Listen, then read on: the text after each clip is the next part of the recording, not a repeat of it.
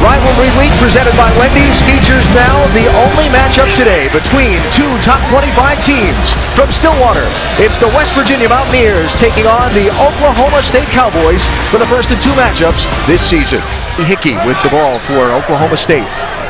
Into the hands of Forte. And now Newberry. And Bob Huggins right now has his most experienced defender in Gary Browne on Forte. Michael Cobbins. The one through five you're going to have trouble in stretches where you turn it over some. It's just being able to stop that and continue to execute. Forte with a defensive rebound.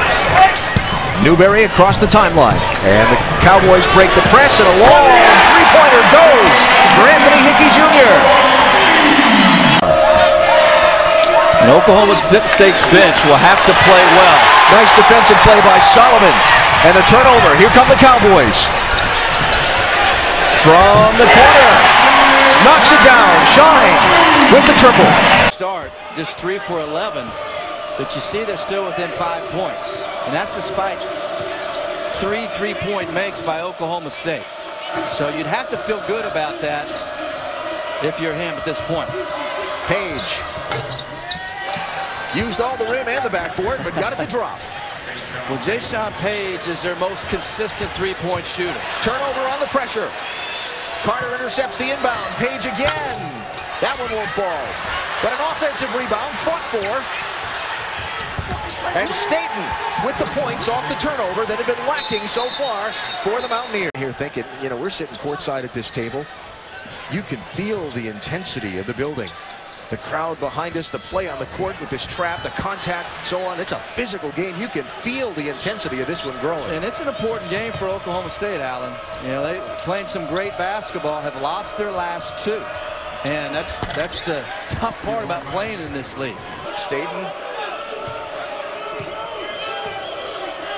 back in the game after a brief rest and looking to take charge from outside. Another one for Gary Browne. Be an opportunity to run a little bit.